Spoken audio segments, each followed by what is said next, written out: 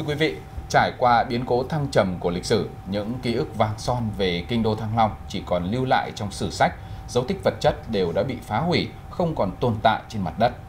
Từ năm 2002 cho đến nay, qua 20 năm nghiên cứu khai quật các giá trị nổi bật toàn cầu của di sản Hoàng thành Thăng Long ngày càng rõ nét.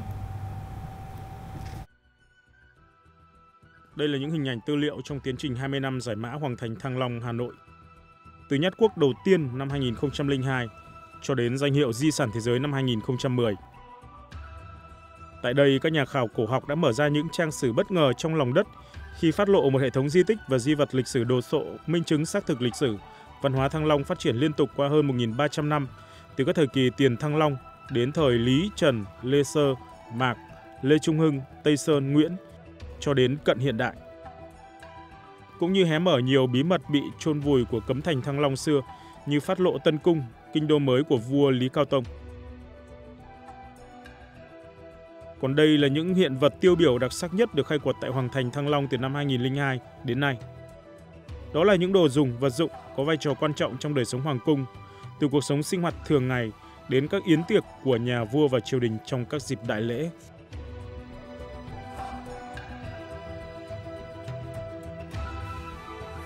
Thành tựu lớn nhất ý, là lần đầu tiên tìm thấy tầng văn hóa rất là dày, ừ, phản ánh cái lịch sử của Việt Nam hơn 1.300 năm lịch sử. Và trong các tầng văn hóa đó thì nó chia thành nhiều lớp, mỗi một lớp chứa rất nhiều các cái di tích kiến trúc về cung điện, lầu gác, chùa quán, vân vân và hệ thống di vật khổng lồ phản ánh giá trị của Thăng Long Hà Nội,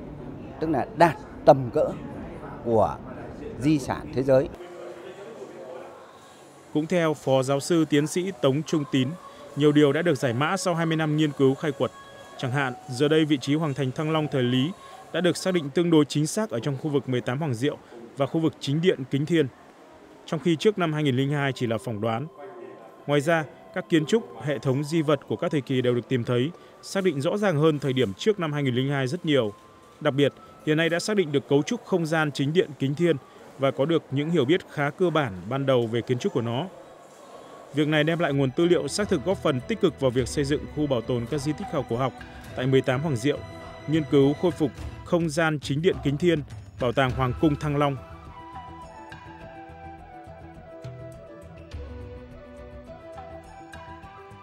Hà Nội phải tập trung trí tuệ, tập trung lãnh đạo, rồi con người để mà gìn giữ và phát huy một cái giá trị văn hóa đã được UNESCO công nhận là giá trị văn hóa của thế giới. Trước năm 2010 ấy, là cái khu di tích trung tâm, tức là không gian chính điện Kinh Thiên ấy, tức là trung tâm thiết lễ đại triều, trung tâm quyền lực, trung tâm lịch sử văn hóa của Việt Nam chưa được phát hiện thì trong 10 năm tiếp theo ấy, là ta phát hiện rất rõ và rất là đúng với lại cái ghi chép của sử học. Từ giá trị to lớn của khu di sản, tại Hội thảo khoa học quốc tế 20 năm nghiên cứu, bảo tồn và phát huy giá trị di sản Hoàng thành Thăng Long, Hà Nội diễn ra vừa qua, giới khảo cổ học đã kiến nghị các cấp lãnh đạo có thẩm quyền tiếp tục cho phép Trung tâm Bảo tồn Di sản Thăng Long Hà Nội đẩy mạnh nghiên cứu để tiến tới khôi phục không gian chính điện Kính Thiên và chính điện Kính Thiên, cũng như các phương án phát huy các giá trị di sản văn hóa phi vật thể của kinh đô Thăng Long.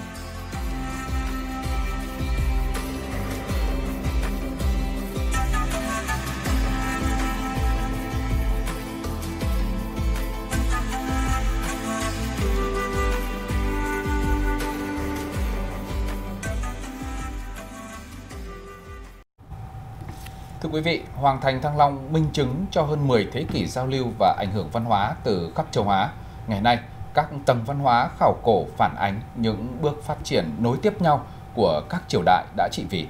Vẫn còn nhiều lớp khảo cổ chưa được khám phá dưới lòng đất. Tuy nhiên, nghiên cứu bảo tồn di sản là một quá trình rất lâu dài, đòi hỏi phải có kế hoạch và thực hiện một cách chiến lược.